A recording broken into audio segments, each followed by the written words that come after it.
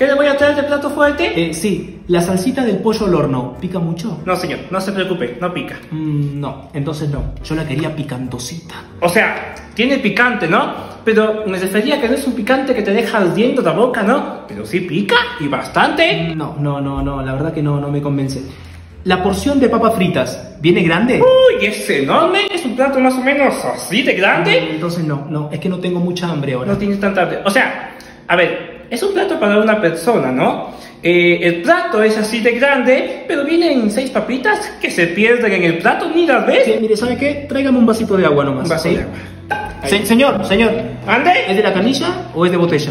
En botella. Porque a mí me gusta de la canilla. Acá llenamos la botella de agua de la canilla. Ponemos la botella abajo de la canilla y la llenamos con todos los microbios, todos los animalitos y te la tomas. ¿Quieres ver? Mira, vente para la cocina, ven.